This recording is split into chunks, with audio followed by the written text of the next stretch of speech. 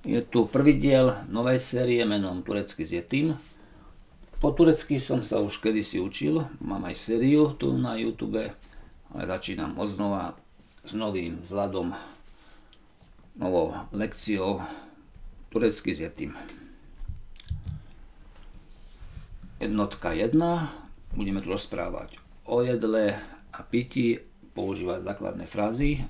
Pozrieme si najskôr z prievodcu. Ye veya iç. Jedz alebo pi. O su içer. On pije vodu. Voda je su. Ben su içerim. Ja pijem vodu. Biz süt içeriz. My pijeme mlieko. Sit je mlieko. Onlar elma yer. Oni jedia jablko. Sloveso na konci. Merhaba, günaydın. Ahoj, dobré ráno.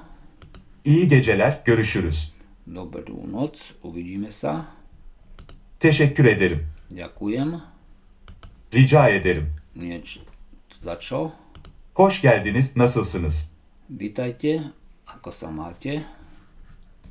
İyiyim, teşekkürler. Mám sa dobre, ďakujem.